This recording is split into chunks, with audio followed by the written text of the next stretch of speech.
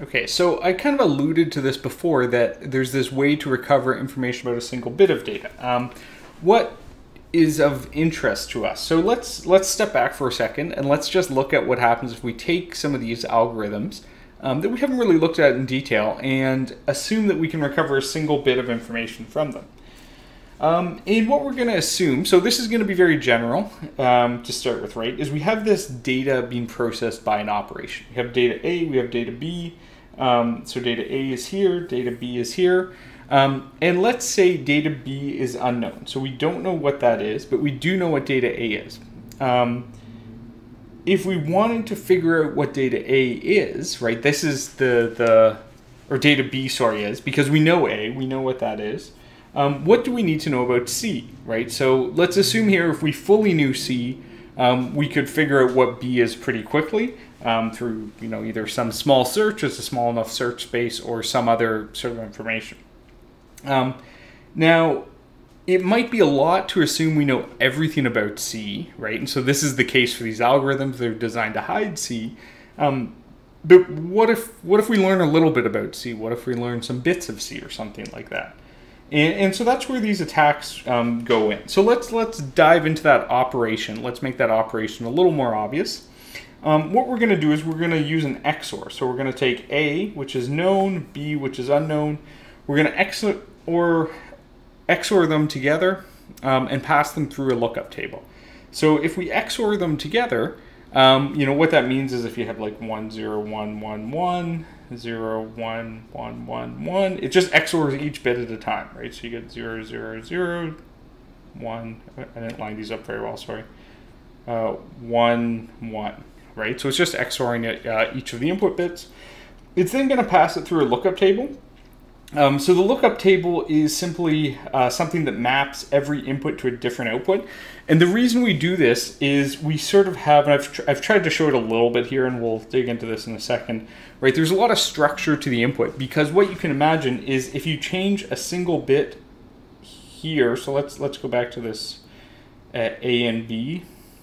And sorry, I've lost my pen, so I'm using my finger on this. um, so it's a little messier than normal. Um, 0, 1, 0, 0. Right? So if we were to change that 0 to 1, um, the problem with this, or the thing that we don't necessarily like, is it's only going to affect the output bit. Um, and this is actually bad if you're trying to hide uh, information. So if you're trying to hide B, uh, we don't like that because then if an attacker toggles a single bit of input at A, um, it's really obvious that what bit uh, what the, the, the value of B was uh, because they can see that at a single point in C. So um, as part of these algorithms, what we're going to do is we're going to introduce this lookup table that make that sort of breaks that connection. Um, so that lookup table um, means that we no longer have a single bit of output depending on a single bit of input, um, but a single bit of output depends on every bit of the input. Um, so if you change any bit of the input, um, potentially, you know, any other bit of the output could change. And it, depends what value of the lookup table um, you, are hitting here, but the point is that it's no longer an exact bit-to-bit -bit mapping. Um, so we can play with this, right? So um, there's a uh, more extensive online lab um, that you can you can play with this in. It's part of the ChipWhisperer repo um, that I'll link to in the uh, the description here. Um, but basically, you have the input uh, processing that's done like this. So you can see we literally generate a random lookup table and we just pass it through the lookup table um, and return the value. So that lookup table uh, is should have like one-to-one -one mapping basically. So any input value um, should map to a single given output value. So I, this was just a quick a quick example. I don't know if that's actually the case here. Um, but you're just trying to show the the general idea of how this is uh, is working, right? So you have a lookup table that just processes the input uh, and returns it.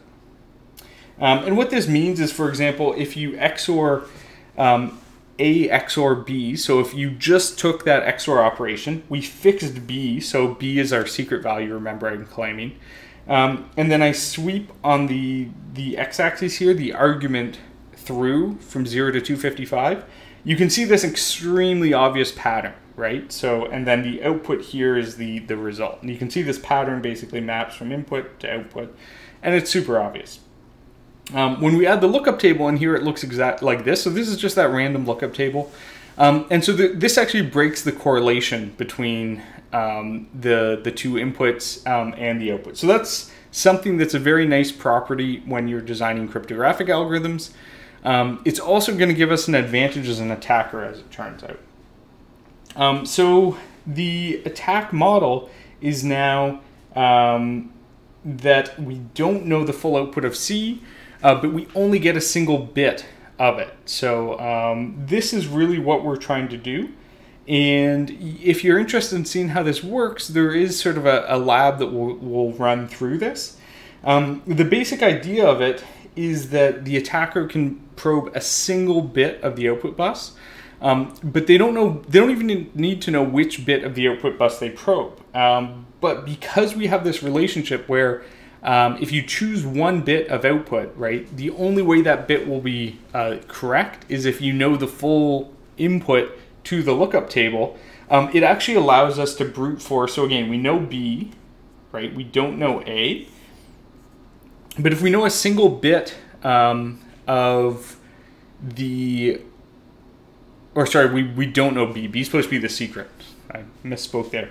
Um, we would know A, we don't know B. Uh, A changes, right? We know what it is every time. But the idea here is that um, we can take a single bit of the output and we do this guess and check operation where we say, you know, if this bit was correct, the only way the bit is correct is this if A is, you know, 7 or 32 or 56 or whatever. Because um, there's going to be a few solutions to this. And then we'll, we'll try it, you know, with different values um, until we finally get a, a single possible value um, for B, right? So the single possible value for B based on the input that we know of A. So it makes doesn't make a ton of sense when you're just describing it like that. Um, so if you're interested in seeing how it works, you can go through um, the full lab to to understand that. But uh, what I'll talk about next is how this attacker capabilities can be done with power analysis instead. So if you believe me that the single bit of the output bus is sufficient, um, then you can check out the next one. But if you want to see how this works in detail, um, uh, you know, I do encourage you to go through the, the lab that I'll link below because it's pretty interesting to see how it works.